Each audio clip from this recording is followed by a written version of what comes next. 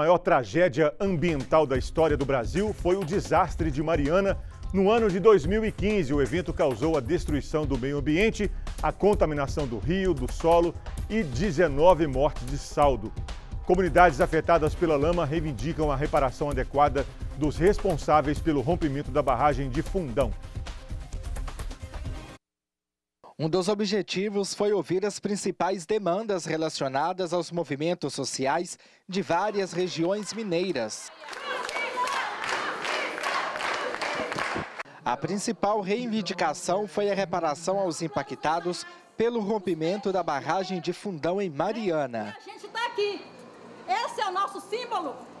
Esse aqui é o nosso símbolo, gente. E essas demandas elas estão centradas basicamente na questão envolvendo é, o evento, o crime, com relação é, à questão da Samarco. Então nós temos aqui demandas de pessoas de várias regiões, né, inclusive desde Ponte Nova, é, passando por Mariana, pela comunidade gesteira, chegando aqui em Governador Valadares e outras cidades da região. E realmente nós percebemos que essa questão Samarco, a questão da qualidade da água, a questão de confiar na água que se bebe, a questão é, de você ter é, e perceber que vai ter a justa reparação e principalmente a punição dos culpados, esse é o tema da pauta, pelo que eu estou percebendo, nesse movimento e nesse encontro. O José Cirlei pertence a uma aldeia Pataxó em Guanhães.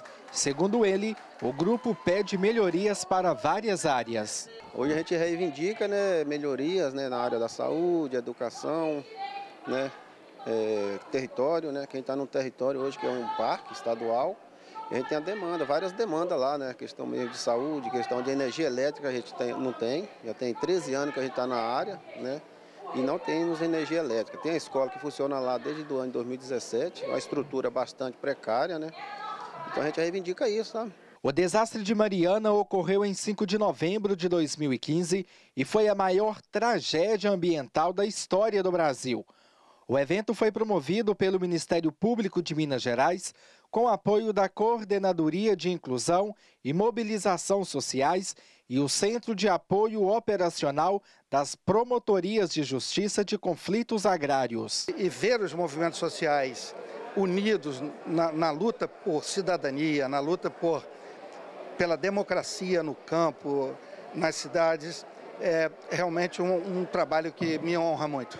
O Ministério Público quer se aproximar dos grupos sociais para estabelecer políticas a fim de solucionar as demandas. E o Ministério Público, com esse objetivo e com esse evento, ele quer aproximar a sociedade, ao mesmo tempo ouvir o que a sociedade tem é, para reclamar, tanto da própria instituição, quanto, inclusive, é, as suas demandas sociais mesmo, para que nós, é, enquanto Ministério Público, possamos formular políticas institucionais de atendimento a essas demandas, o que é muito importante, formular as políticas da instituição a partir de ouvir o povo, que no final das contas é, são as pessoas que são as donas, né? Eu costumo dizer que são os donos é, da própria instituição.